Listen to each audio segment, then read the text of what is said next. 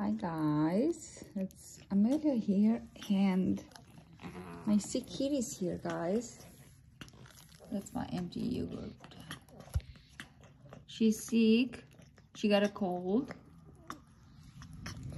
and my other sick kitty that she can eat the regular food right now.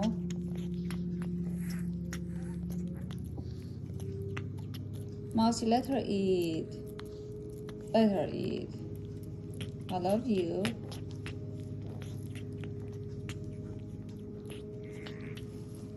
Okay, it's morning routine and cleaning, vacuuming, feeding, wiping.